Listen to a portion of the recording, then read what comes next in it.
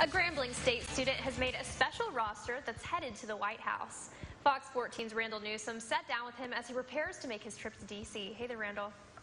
Hey, Sarah, Faron Rush tells me when he first came to Grambling State University, he wasn't sure if GSU was the place for him. But moments like these let him know he's been on the right track all along, taking him places he never thought he would go.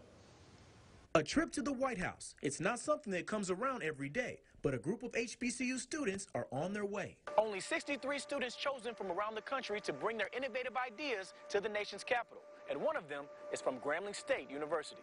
Faron Rush, a senior majoring in computer information systems, made that roster. But he says once he applied, he knew he was qualified to be on that list. Uh, over the course here at Grambling State University, I've been applying myself in ways that kind of made me stand out. But Faron, a Chicago native, remembers when he wasn't sure Grambling State was the place for him. So it's a whole different like energy and then coming down to a small school like Grambling in the middle of nowhere. But with the help of a family atmosphere, his mindset and his goals changed. I feel like coming to Grambling changed my life, changed my perspective. He found something that drives him. I feel like technology is everywhere and I feel like you have to know a little bit about it to even to even stay relevant. And people at the highest level started to notice. Um, I was invited uh, specifically to come interview with the CIA at the headquarters in VA.